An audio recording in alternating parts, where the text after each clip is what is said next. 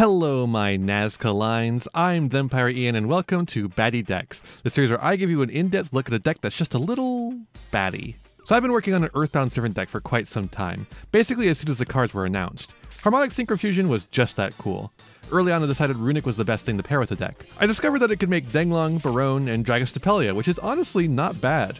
I was getting ready to show off my build when the cards were finally released, and then MBT beat me to it. His build had everything that mine did and more. He came to a lot of the same conclusions I had about the deck and found some interactions I hadn't. But by the end of it, I don't think either of us were really satisfied with where the deck landed. So I decided to take my build and his build and try to make an even better deck instead of just showing off that earlier worse version of the same deck. That's what we do in the Yu-Gi-Oh community after all. We share our ideas, we incorporate the ideas of others into better and better builds to help us all get better. And then Baronne got banned. So then I had to brew with the deck once again, landing on Cheng Ying as a replacement. So after all that, let me now finally show you my contribution to Earthbound Prisoner Runick.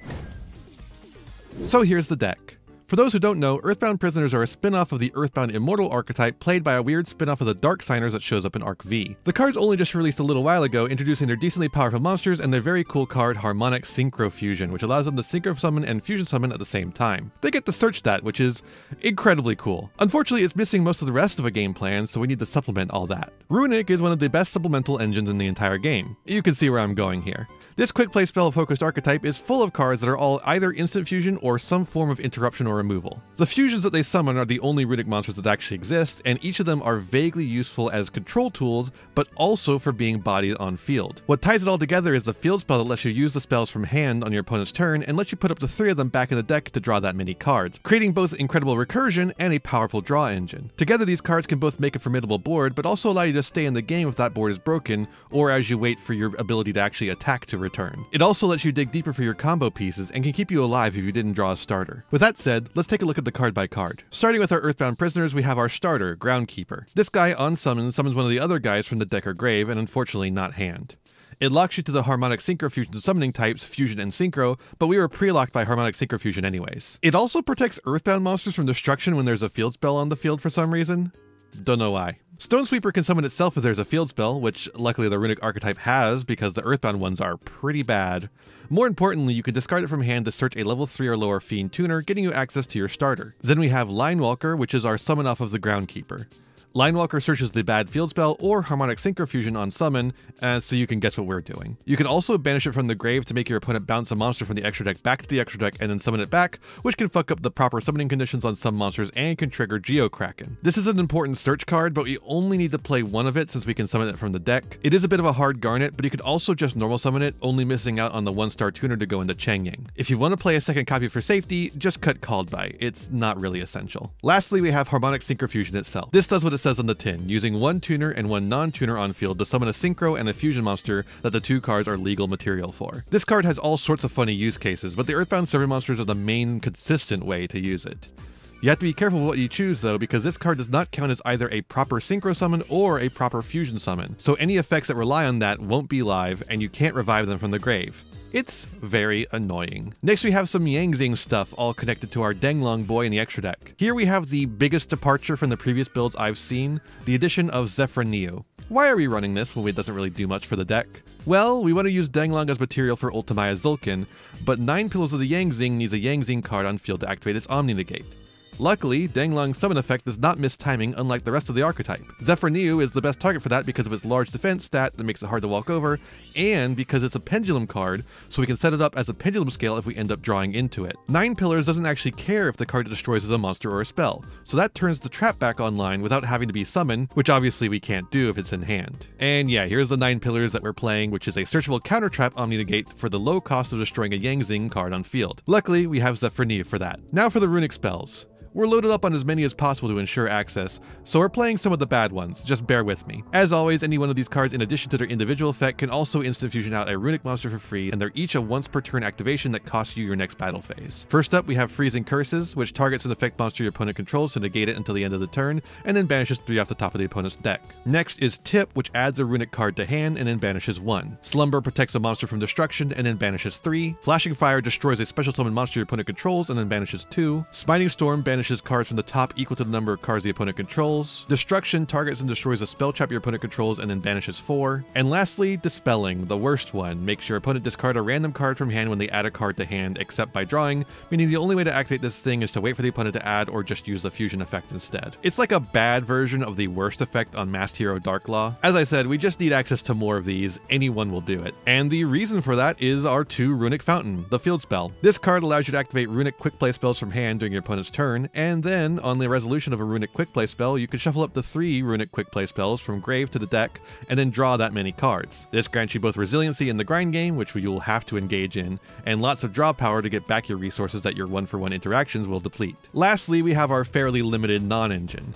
You don't need much non-engine when almost the entire deck is interaction. We have three Droll Lockbird, which can just absolutely shut down a turn, one Called by the Grave to stop Droll Lockbird and other hand traps, Honestly, we can get shut down by several hand traps, so this is pretty good to have. 3 Imperm is just pretty solid this format, and most formats. It won't fully stop like a Snake Eyes player or a Yubel player, but it'll stop a lot. Now for the extra deck.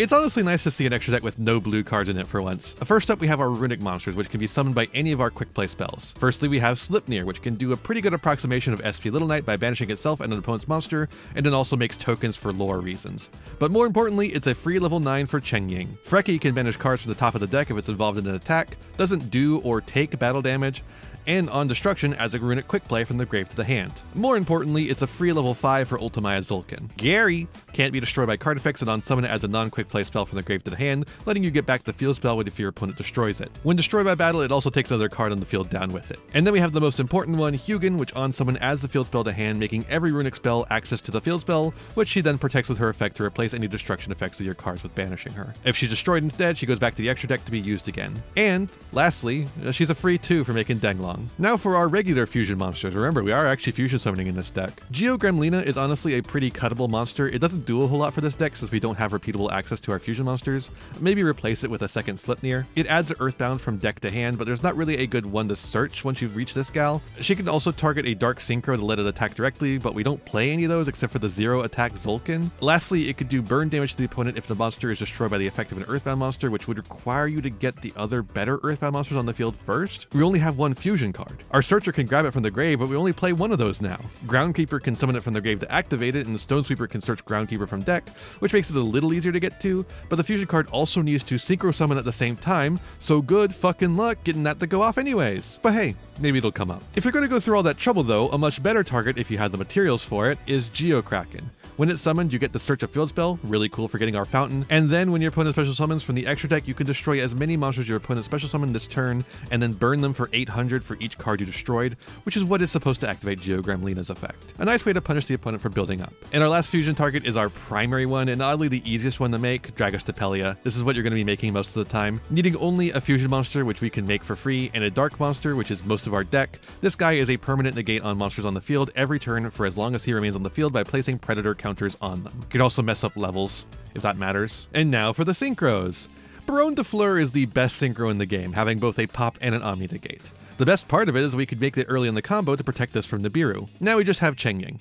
Now, Cheng Ying is not as powerful as Baronne, that's obvious, but it's still a formidable card. Having a Banish and a huge beater on board does diversify our end board a bit, considering we make so many negates already. It can really help assemble an OTK, which is really good for a deck that has to wait a long time to attack. And that banish effect triggers on the runick banish effect, but you can have a bit of control over when you banish by a well-placed runick card. Cyber Slash Harpy Lady is one of the better generic level 8 synchros in the game, who can bounce a monster back to hand when a spell or trap is activated, like a runick spell perhaps. This is definitely not supposed to be part of your turn 1 end board, but it is a decent option for recovery as something you can harmonic synchro fusion into at the same time as Geokraken. Stardust Warrior is a 6, which is something you might need to make occasionally. It draws you a card, that's all you need to know. The same goes for Coral Dragon, but both of these cards need to be synchro summoned to get their effects, so don't make them with Harmonic Synchrofusion. Ultimaya Tzolkin is a bit of a weird one that you make by sending two level 5 or higher monsters with the same level to the grave, one tuner and one non-tuner. That'll be Denglong, which we make with Hugin and Linewalker, and either Stone Sweeper if we draw it since we can summon itself if you had the fountain or the field, or Freki otherwise, assuming you have the extra spell for it. Then when you set a card, like the 9 pillars you search off of Denglong,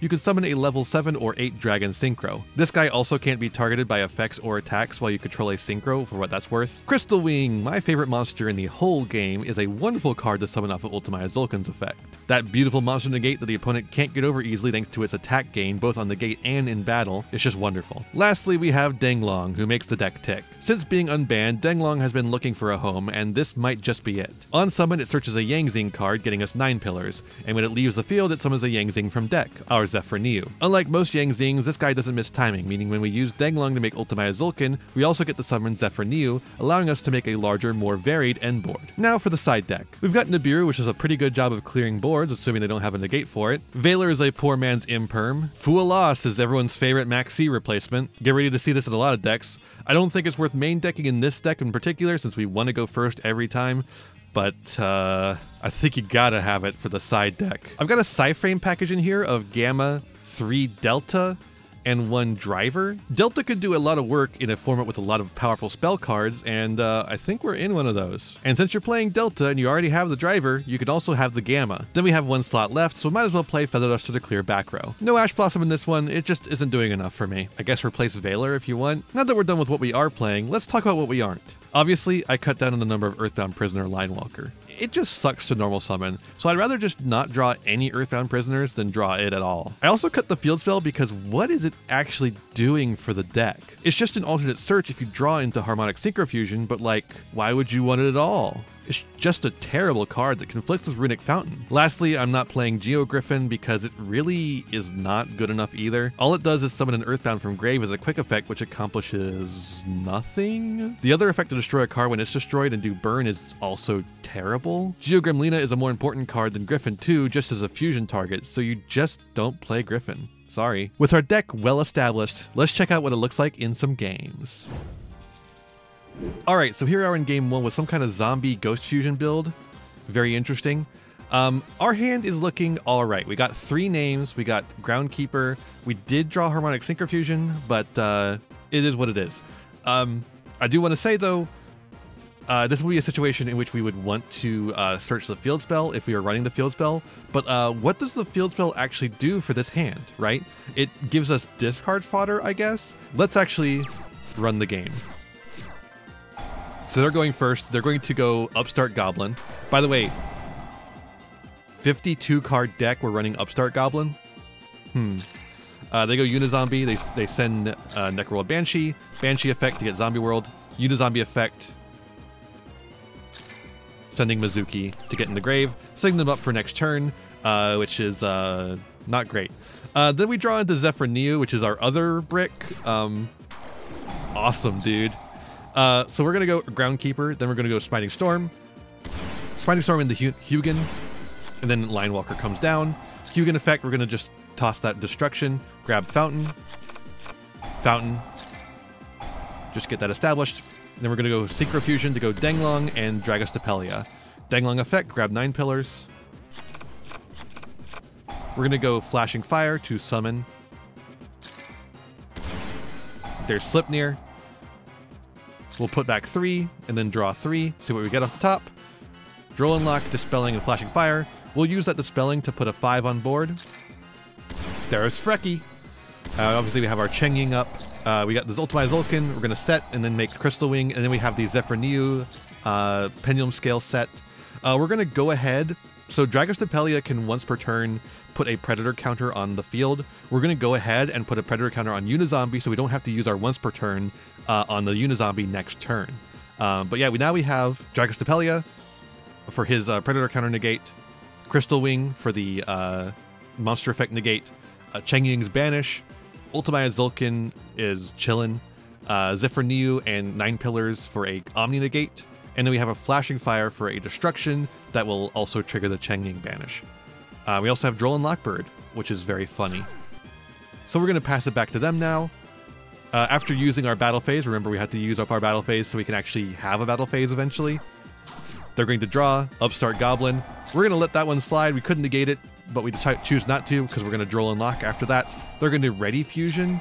I don't even know what they're trying to Ready Fusion into. I'm just going to negate that with Nine Pillars. Don't want to see it. They're to go Gozuki. They're to Unizombie effect. They don't know. They don't understand. They're to Gozuki. I'm going to Dragostapelia the Gozuki. Then they're to link off for the new card, Flying Mary, the Wandering Ghost Ship. Uh, this card is actually really cool, uh, and I'm not to let it stay on the field. Uh, so they're going to go Gozuki effect. I'm going to negate that with Crystal Wing, and then use the effect of Flashing Fire to destroy the Flying Mary.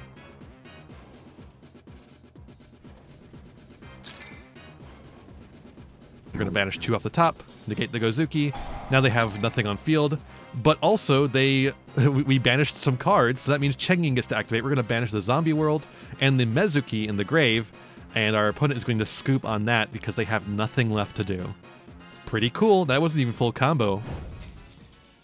Here we are in game two against the new Blue Eyes deck. Um, a bit of a pile, it looks like, but uh, why are we running polymerization? But we're not here to bully. We're here to look at this deck, uh, the one that I'm playing.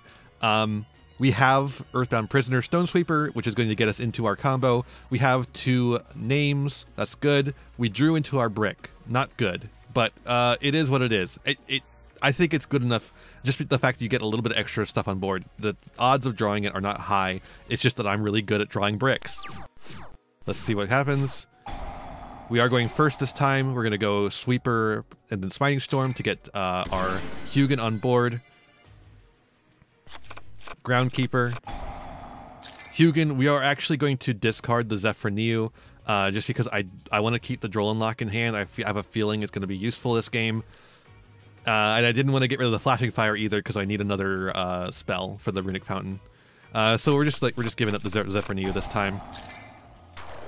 We're gonna activate the fountain, uh, summon the Groundkeeper, then we're gonna do Line Walker, Line Walker effect, grab Harmonic Synchro Fusion. We're gonna activate that Harmonic Synchro Fusion, making Denglong and Stapelia. Denglong effect, grab us the Nine Pillars. Flashing Fire here. Now we have a choice. Uh, we can either uh, make uh, our... We're gonna make Sleipnir, but we can either make, now that we're uh, doing this draw, we're gonna, we, we're like highly likely to draw into runick cards. So we draw into two runick cards. We can either keep the Denglong on field for the nine pillars, or use the runick cards to add make Freki, and then go into uh, our Ultimate Tzolkin. Uh, here comes our Cheng Ying. Uh, we pick to go with the Denglong. I just want the in this situation. I think you want the Omni Negate over the Crystal Wing. Uh, Crystal Wing's really cool, but the Omni Negate is a little better. Um, so we're going to pass to our opponent on that.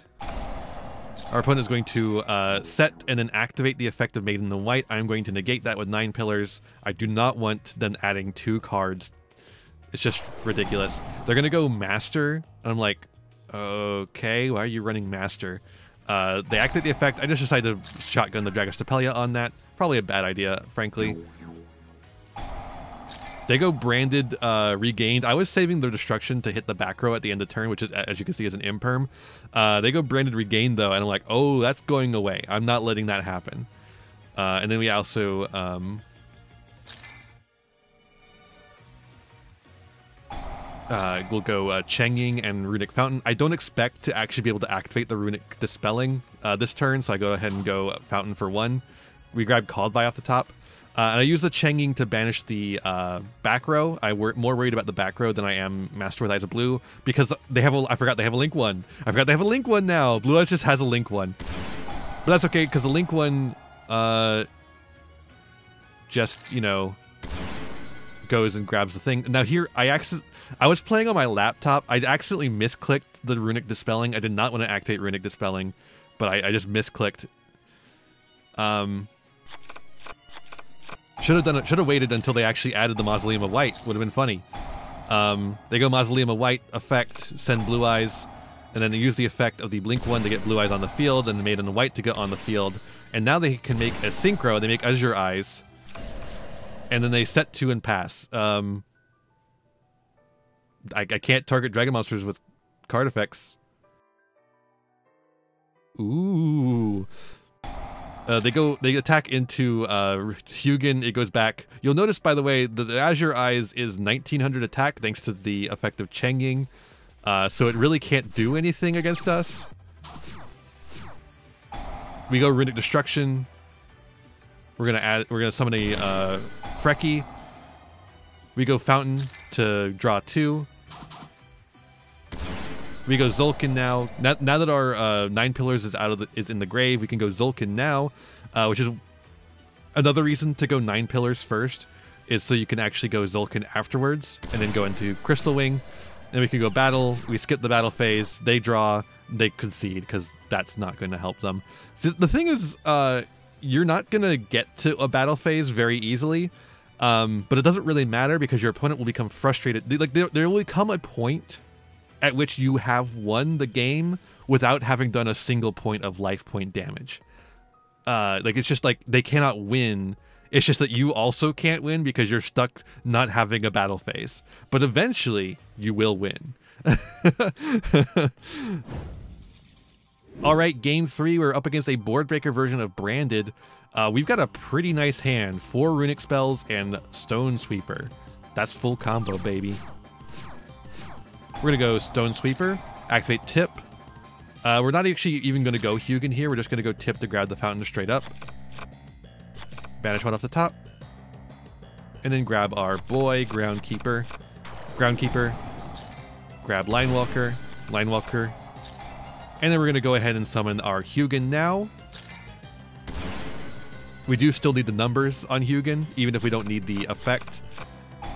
We're going to go Fountain just so we make sure we actually remember to have the Fountain on field before we activate our last Runick effect of the uh, turn. We're going to go Harmonic Synchro Fusion into Danglong and Dragostapelia. Danglong effect, grab 9 pillars. Flashing Fire. We're going to grab our Sleipnir, 9 stars. Runick Fountain here for 3. Let's get some draws. Not bad at all. Cheng Ying, because we draw on the Stone Sweeper, we can actually just summon the Stone Sweeper instead of using one of these spells to make Freki. Saves us a bit of resources. And then we can make Tzolkin, Denglong, grab Zephyr set, and then we make our Crystal Wing. Full board, baby. It's all good. We got Cheng Ying for Banish, Crystal Wing for Negate, Stapelia for Negate, Zephyr and our Nine Pillars for our Negate, and then, of course, uh, Tzolkin just chills. We got three runick spells in hand. I'm feeling pretty good about this one. Uh, our opponent does have a lot of board breakers in hand, though. So our opponent goes first, Albion. Uh, I consider negating it, but I decide, nah, not worth it. Uh, they decide to go Super Poly after that, uh, which is actually not awful for us because uh, what are you Super Polying here? I got Earth, I got Water.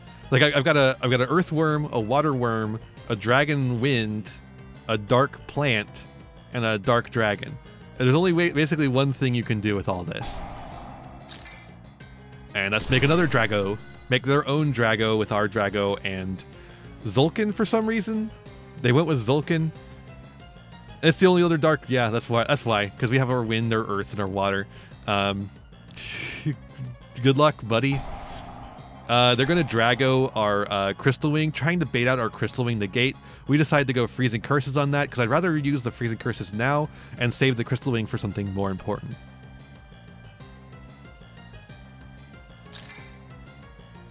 We uh, banish a couple off the top. Drago is negated. They're going to go Raigeki. We're going to Nine Pillars that. No way. Ain't no way. Pops our Niu. Goes to the extra deck. They're going to go Albaz. Uh, luckily, we've got a negate for that as well. Bye-bye, Albaz. They're to pass. We're to draw another Runick spell. We're to go Runick Dispelling, summon a monster. They're to go Drago on Cheng Ying. We're to Crystal Wing that. Bye-bye, Drago. Here's Freki. Fountain here to get two. Draw Unlock, and a combo starter. So let's get our combo going again, and our opponent's going to scoop. Even though, again, we never had, we never got a chance to attack. In all three of these games, we never ha had a single attack declared from us, but we still won anyways. That's just the power of Runick. Well, that's the power of Runick in general, but it's the power of Earthbound Runick especially. uh, you got to be using your Runick spells, and you have a lot of them. So you end up locking yourself out of the battle phase quite a bit. Uh, but eventually you reach a situation where the opponent just runs out of resources to contest you. Meanwhile, you are drawing three cards every turn. So, yeah. So where does this leave us? Well, this deck is the epitome of build-a-board nonsense. Uh, at least there's no Appollousa, rest in peace. Despite this though, it's a varied end board with many different levels of interaction, some of which are even hidden information. With hand traps, spells, a counter trap, and the gates, you have a little something for everything. If you get to set up your full board, you can be almost certain your opponent will not be able to break through, unless they're very prepared for a very different metagame. Even evenly matched in Dark Ruler No More won't fully take you out of the game thanks to Fountain. The problem is getting to set up that full board. This game plan is a little fragile from stem to stern. Starting off, there's a lot of bricks in here. Thankfully, we only have one hard brick, which we can still normal summon to do a worse version of the combo, but there's enough bricks in here that can make a hand pretty well dead if you draw poorly. The combo itself can be stopped at various points by hand traps, which can let you end on at least something, but not the unstoppable board you want. Some cards like Droll and Nibiru will do a lot more damage to you than others, especially since we don't have Baronne anymore. But that's the beauty of playing a runick deck. Even if you can't build a board at all, sitting there with just some runick quick play spells is still not bad. The resource loop is so powerful and the spells are such nice one for one interactions that your interrupted game plan can still get you to turn 3 to start again. Hopefully this deck serves you well or gives you ideas for your own build. If it does, feel free to let me know and I'll see ya in the next one. Hey there, thanks for watching. I hope you enjoyed this video. I've got a lot more for you if you want them. Just hit that subscribe button and ring the bell to get notifications. I'd also appreciate if you left me a like and a comment and maybe shared the video around with your friends. You can also follow me on all the usual social media sites. Just check out my website in the description below for more info. My videos are funded by my patrons and YouTube members, whose names you'll see scrolling by in these credits here. For just a dollar a month, you too can find yourself here, trapped in my end screen for all eternity. In particular, I'd like to thank Haru Hayes, Fleekill, Frog Prince Michael, and Jeremiah Coatney. A big thanks to all my other patrons and to my little community as a whole. Remember to be kind to yourselves, be kind to others, and have a wonderful whatever time it is for you. Bye.